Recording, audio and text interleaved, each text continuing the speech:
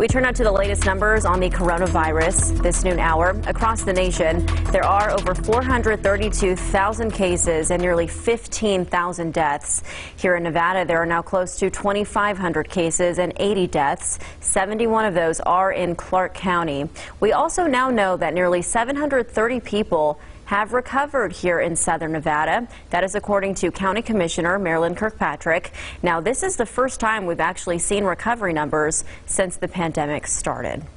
Clark County leaders and others are now giving an update as well on the coronavirus response here locally. County Fire Chief John Steinbeck says there is still a PPE shortage here, but we have received a portion of the national stockpile, and the remaining portion will be distributed to healthcare workers sometime tomorrow. Meanwhile, the CEO of UMC also gave an update on the state of local hospitals. Nevada hospitals and our local hospitals in the valley are working tirelessly to prepare for a surge uh, here in Las Vegas. Um, we have uh, working uh, every day and every night, um, but we anticipate an increase in, and we're seeing an increase in COVID-related symptoms.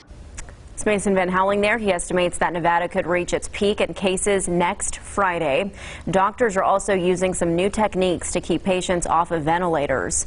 One doctor from the Southern Nevada Health District doubled down on recommendations from the CDC that people wear a mask or a face covering when out in public and continue to practice strict social distancing.